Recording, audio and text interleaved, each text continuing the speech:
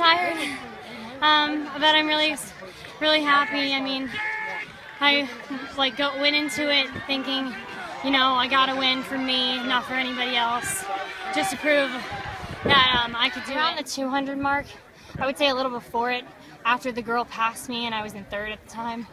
Um, I told myself, I am not going to finish third. I can do much better than that, even with only two hours of sleep. And she was not that close. She wasn't going any faster than me. And I knew I still had something in left. And once I passed her, I was like, that girl's getting even closer. I'm going to go for her too. And I was very fortunate that I was correct in my thinking and my body kept up with my mind. It's 220, uh, 14, I think. Okay. Uh, that's the fastest time I've ever had on a 800 ever. You think you're uh, you can beat that this year? Oh heck yeah. hey, if I got to 23 here on two hours of sleep, I think I can do much better.